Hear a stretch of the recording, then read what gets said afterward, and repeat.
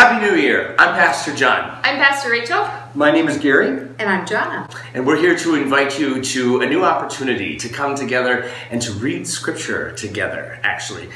And when you hear that word about coming together and reading Scripture, it's often an overwhelming thing because Scripture is a complicated book. It's historical, it's contextual, it's metaphorical, it's symbolic, and in many ways it looks overwhelming to a lot of people, but it's really not.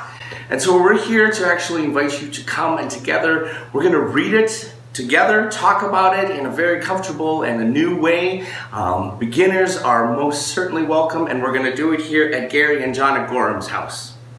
We will be meeting at 6 o'clock for 9 Thursday, starting on January 12th. We'll provide uh, childcare and desserts will be served. So 6 o'clock is a great time to meet. We will provide desserts.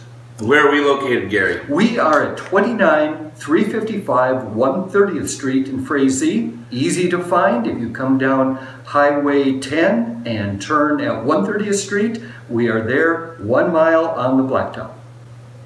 All you need to remember to do is bring yourself and bring your Bible and bring your questions. And so come join us at 6 o'clock on Thursdays. We'll See you there.